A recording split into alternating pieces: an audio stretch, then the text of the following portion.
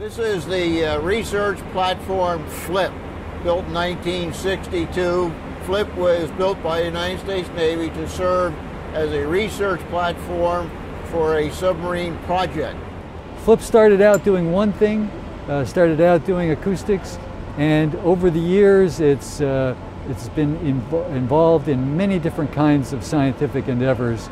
Uh, it's a tribute to the flexibility of the platform that it has maintained its utility uh, from, the, from the very earliest days doing one kind of work, research in acoustics, to today's work in ocean waves, laser propagation, uh, ocean uh, optics. FLIP is designed to heave up and down at a natural period which is longer than the longest swell. Consequently, she barely moves with waves, only three inches in a 30-foot sea. As she flips, the crew aboard shifts with her, walking now on what before were walls and rails. It's a totally unique creation in that it can go out to sea, flip up, measure ocean waves, measure uh, very delicate things without rocking around in the waves that it's trying to measure.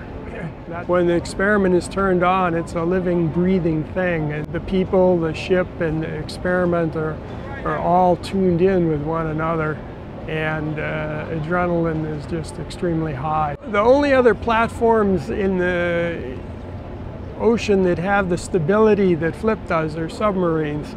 And so for a variety of uh, submarine related questions, FLIP's been able to, to make acoustic studies of relevance uh, or internal wave and oceanographic studies of relevance. Uh, that have benefited the Navy in a way no other platform can. Uh, the kind of research we're doing on FLIP uh, right now is mainly focused on understanding how we can measure and forecast wave um, over a period of time and over a range of, of distance. Uh, we, in a recent project uh, funded by ONR, uh, we use um, marine radar and tested the ability of marine radar to, uh, to produce wave map. Flip is unique. Um, it's, Flip is, uh, is an experience. There is one platform that remains like this in the world. Uh, it's, it's really experiencing how oceanographers conducted research 30, 40 years ago.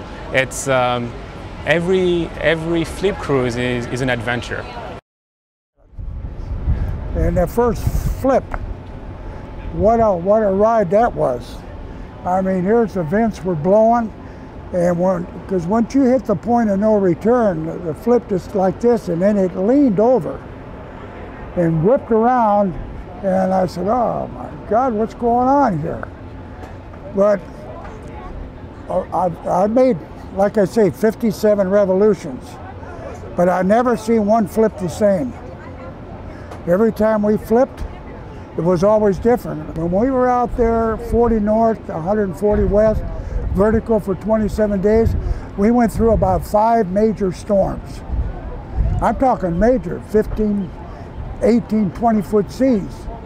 And flipper's going up and down about a, about a half an inch. But when a wave would break on the bow, the spoon, it would shake. But we were having barbecues on the back deck here, and the tug, the horizon, he was taking them over the bow. So it, it's a stable platform. Right now you're seeing Flip in its vertical position. Uh, Flip, a 355 foot uh, vessel, uh, has 300 feet of its structure below the surface of the water with 55 feet of structure uh, above the, the surface of the water. The yellow uh, devices you see hanging on the sides and the front of Flip are scientific equipment deployment booms. These are the booms that are lowered out to allow the scientists uh, to deploy their acoustic sensors uh, a distance away from flip. So our relationship with Scripps is a is a teaching relationship in the sense that uh, we try to teach Scripps the Navy's problems. And we try to then take from Scripps the good science and teach the Navy what Scripps and other institutions like Scripps can offer the Navy. And that kind of back and forth is, is a, an enduring relationship which builds upon itself and gets to a point where, um, where it, it uh, provides much greater value than just an, an individual grant or, uh, uh, or contract because everyone is more educated about what it is that we're about.